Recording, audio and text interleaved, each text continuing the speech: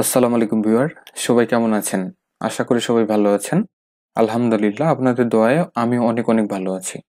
তো আজকে আমরা যে ব্যাপার নিয়ে কথা বলব, সেটি হচ্ছে মাইক্রোসফট পাওয়ার পয়েন্ট প্রেজেন্টেশনের কোনো ফাইল যদি ক্রপটেড বা নষ্ট হয়, বা ধরুন অনেক কষ্ট করে আপনি একটা ব্রিফ তৈরি করেছেন, কিন্তু জাস্ট টাইমে এটিকে আর আপনি অন করতে পারছেন না, এটি নষ্ট হয়ে গেছে।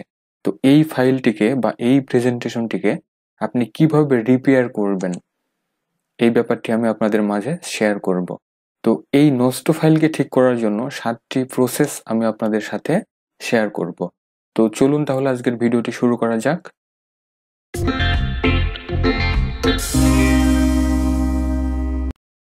Method number one method number one হচ্ছে সাপোজ ধরুন ডেস্কটপে আমি একটি টেস্ট প্রেজেন্টেশন নামে মাইক্রোসফট প্রেজেন্টেশনের একটি ফাইল রেখেছি। এই ফাইলটির সমস্যা। তো এই ফাইলটিকে ঠিক করার জন্য আমরা প্রথম যে পদ্ধতির ব্যাপারে বলব সেটি হচ্ছে আমরা আমাদের পিসি থেকে পাওয়ার পয়েন্ট ওপেন করব। তো পাওয়ার পয়েন্ট ওপেন করার পরে আমরা পাওয়ার পয়েন্টের মেন ইন্টারফেসে আছি। এখন বাম পাশের প্যানেল থেকে আমরা ওপেন এই বাটনে ক্লিক করব। দেন এখান থেকে আমার পিসির ডিরেক্টরির যেখানে আমার ফাইলটি রাখা আছে, অর্থাৎ আমার ফাইলটি ডেস্কটপে রাখা আছে। আচ্ছা এখন এই প্রেজেন্টেশনটিকে সিলেক্ট করার পরে আমরা এই ওপেনের ডান পাশে দেখতে পাচ্ছি একটি ড্রপ ডাউন অ্যারো আছে। জাস্ট এখানে আমরা ক্লিক করব, দেন এখান থেকে ওপেন অ্যান্ড রিপেয়ার নামের একটি অপশন কিন্তু আমরা দেখতে পাচ্ছি। জাস্ট এখানে ক্লিক করব, তাহলে আমার প্রেজেন্টেশনটি ওপেন হবে। এখন আমরা ফাইল থেকে, এই ফাইলটিকে আমরা সেভ করে নতুন একটি ডিরেক্টরিতে সেভ করব। Okay. Method number two method number two হচ্ছে আমরা আমাদের কিবোর্ড থেকে উইন্ডোজ কি এবং আর একসাথে প্রেস করব। দেন এখন পাওয়ার পয়েন্টকে আমরা সেভ মোডে ওপেন করব। আচ্ছা রানে এসে আমরা এখন এখানে লিখব পাওয়ার পিএনটি দেন আমরা একটি স্পেস দিয়ে আমরা ব্যাক স্ল্যাশ ব্যবহার করব দেন সেভ টাইপ করব। এখন যদি আমরা ইন্টারভেস করি তাহলে দেখুন মাইক্রোসফট পাওয়ার পয়েন্ট সেভ মোডে ওপেন হয়েছে। এটি বোঝার জন্য আমরা টাইটেল বারে দেখতেই পাচ্ছি মাইক্রোসফট পাওয়ার পয়েন্ট ব্যাকেটের ভেতরে সেভ মোড আমরা দেখতে পাচ্ছি।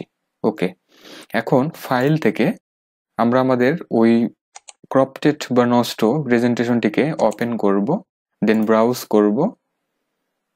আমরা ডেস্কটপে রেখেছি ডেস্কটপ থেকে এটিকে সিলেক্ট করে ওপেন করব। তাহলে সেভ মোডে আমাদের প্রেজেন্টেশনটি ওপেন হবে। এখন ওপেন হবার পরে আমরা ফাইল থেকে সেভেস করে এই ফাইলটিকে পুনরায় একটি ডিরেক্টরিতে সেভ করব।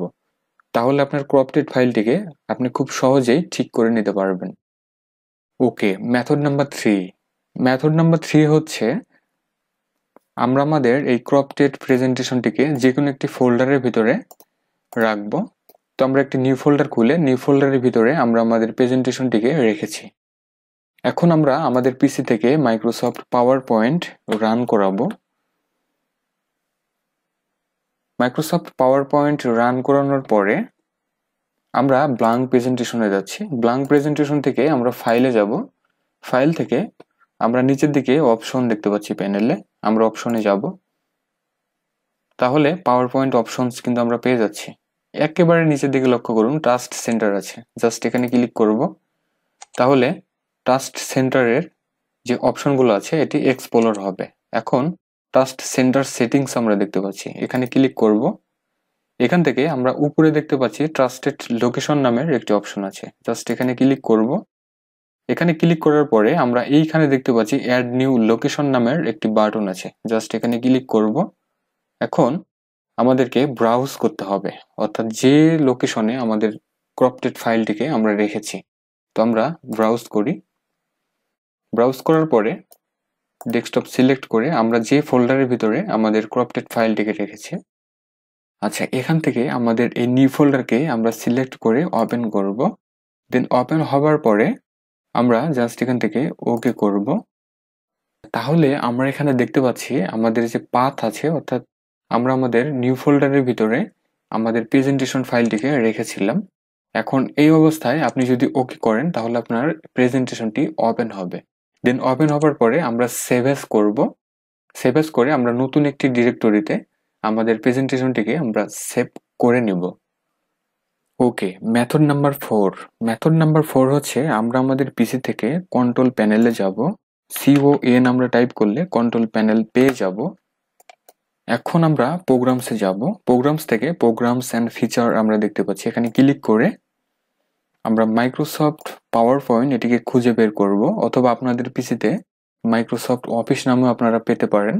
অর্থাৎ আমি এখানে মাইক্রোসফট অফিস টু ব্যবহার করেছি। তো এই জন্য আমরা দেখতে পাচ্ছি মাইক্রোসফট পাওয়ার পয়েন্ট টু আমি পেয়ে গেছি। এখন জাস্ট এটির উপরে মাউস রাইট বাটন ক্লিক করে চেঞ্জ আছে।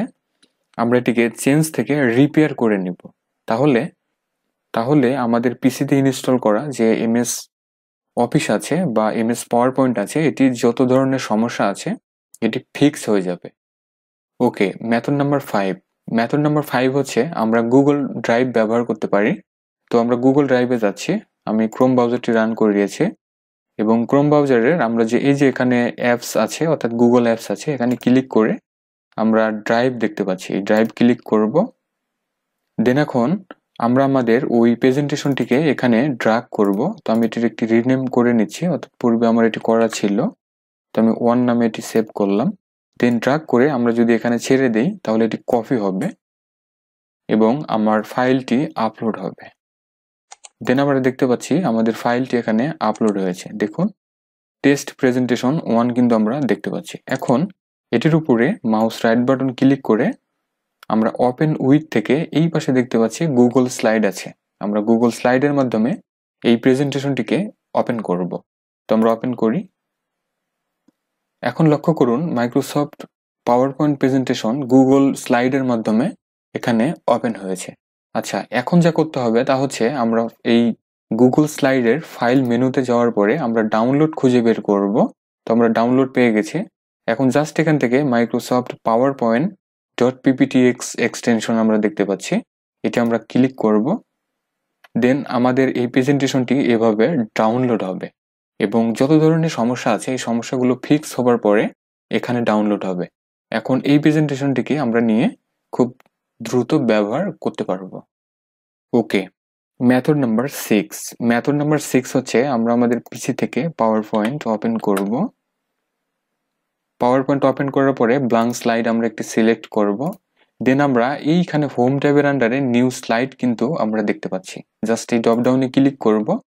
তাহলে নিচে দেখুন রি ইউজ স্লাইড আমরা দেখতে পাচ্ছি। জাস্ট এখানে ক্লিক করে আমরা ডান পাশে রিইউজ স্লাইড নামের নতুন একটি প্যানেল কিন্তু পেয়ে যাচ্ছি। এখন আমরা ব্রাউজ করব। ব্রাউজ করার পরে আমরা আমাদের ওই প্রেজেন্টেশনটিকে সিলেক্ট করে ওপেন করব। তাহলে দেখুন, আমরা একটি স্লাইড কিন্তু আমরা এখানে পেয়ে যাচ্ছি। এখন নিচে লক্ষ্য করুন কিপ সোর্স ফরম্যাটিং আমরা দেখতে পাচ্ছি। জাস্ট এটিকে চেক করে এখন এই স্লাইডের উপরে আমরা জাস্ট ডাবল ক্লিক করব। তাহলে দেখুন, আমার স্লাইডটি বাম পাশে ওপেন হয়েছে। এখন এখান থেকে আমরা ফাইলে যাব। ফাইল থেকে সেভ অ্যাস করে আমরা আমাদের এই প্রেজেন্টেশনটিকে সেভ করে নেব।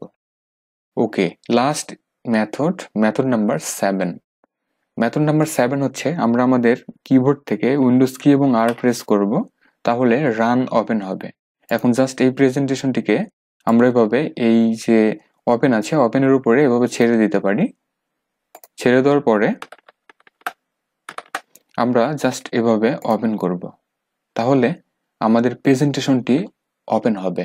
এখন জাস্ট এখান থেকে ফাইলে ক্লিক করে আমরা আমাদের এই প্রেজেন্টেশনটিকে নতুনভাবে সেভেস করে নিব।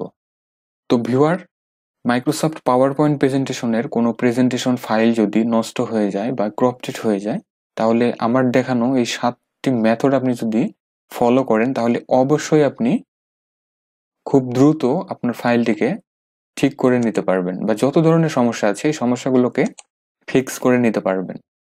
আর এই ভিডিও থেকে বিন্দু পরিমাণ কোনো নতুন বিষয়বস্তু বা যদি এতটুকু পরিমাণ উপকৃত হন তাহলে আমার চ্যানেলটিকে সাবস্ক্রাইব করবেন আর ভিডিওটি ভালো লাগলে লাইক, কমেন্ট শেয়ার করবেন। সবাই ভালো থাকুন, সুস্থ থাকুন। Thanks for watching